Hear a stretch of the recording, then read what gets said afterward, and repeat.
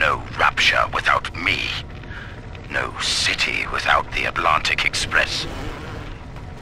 Ryan took his first grand tour on my flagship coach. These days, personal bathyspheres are all the rage.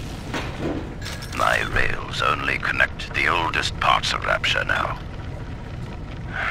And the city's just... just left me behind.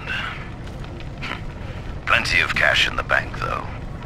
This private vehicle craze will blow over soon.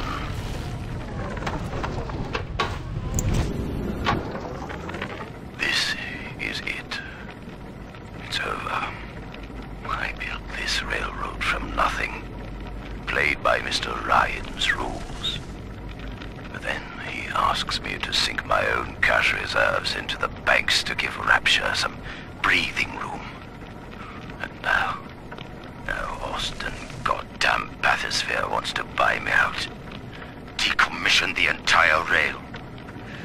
I have no family. And no time for friends. I am the Atlantic Express. And this